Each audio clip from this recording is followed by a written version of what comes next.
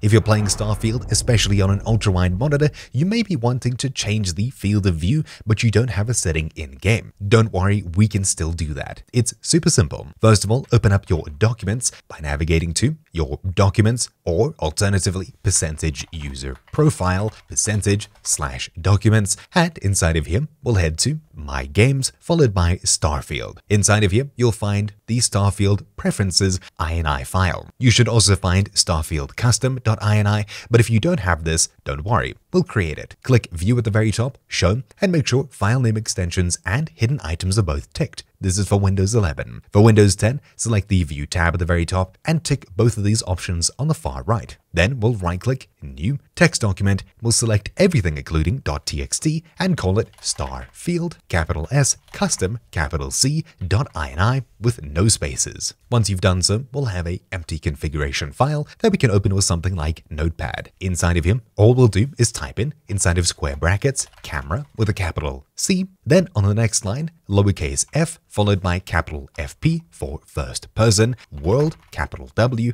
FOV, all caps, equals, followed by a number.